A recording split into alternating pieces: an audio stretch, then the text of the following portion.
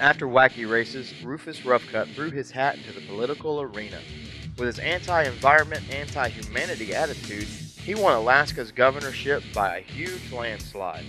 Now Rufus sets his sight on the 2008 presidency. Environmentalists hate Rufus because he wants to clear cut all of Alaska wilderness. But the truth is, clear cutting forests is more money in your pocket. Environmentalists are wussies and homosexuals. Liberals are worthless turds because God doesn't like them. It says so in the Bible. Rufus Ruffcut is a cut above the rest.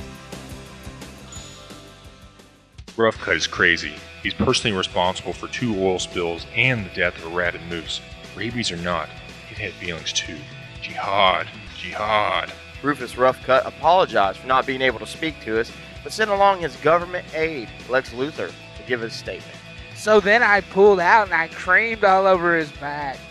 And then I told Jimmy Olsen, go get a rag and clean. Oh, is the microphone on? Are we, are we ready? Governor Ruffcut could not be here, but he sent this message along for everybody. Fuck you. Thank you, and God bless you all. Ooh, Iron